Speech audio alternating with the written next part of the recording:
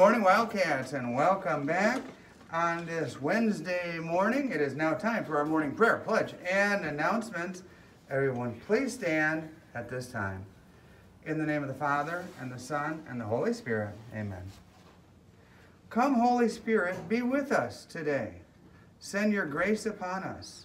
Protect us. Jesus, help us to share your love with those we meet today. Our Father, make us safe.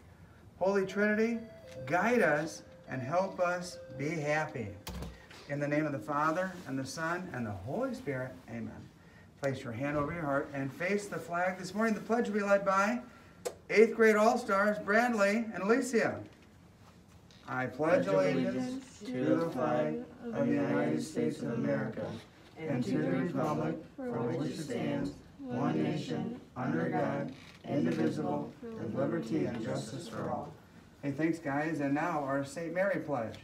May God bless our minds to think our best thoughts, our words to speak kindly to one another, our hearts to feel compassion, and our hands to reach out to one another in compassion and care. I promise always to do my best and to treat everyone with respect and kindness. I will follow the example of Jesus and his mother Mary in all things.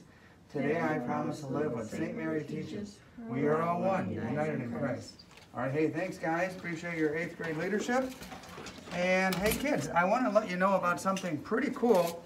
Uh, over the last couple of months, we've been developing something special for our website. And if you haven't had a chance, take a look at our front page of our website. We have a 360 virtual tour.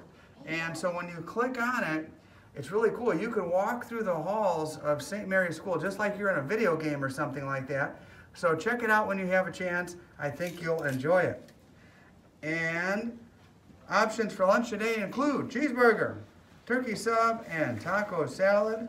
And we have a birthday to celebrate today. Michaela, happy birthday.